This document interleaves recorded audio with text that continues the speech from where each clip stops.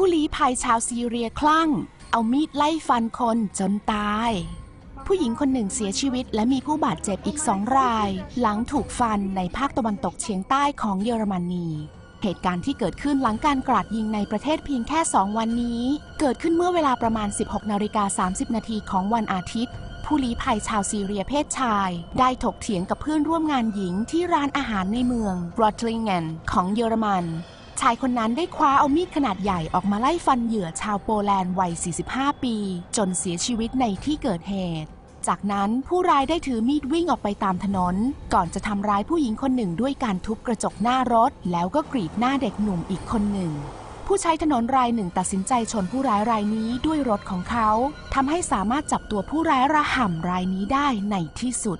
เจ้าหน้าที่กล่าวว่าการโจมตีไม่ได้เกี่ยวข้องกับการก่อการร้าย แต่เป็นเพราะผู้ร้ายบันดาลโทสะ โดยผู้ร้ายวัย 21 ปีรายนี้ เคยมีคดีเกี่ยวกับการใช้ความรุนแรงมาก่อน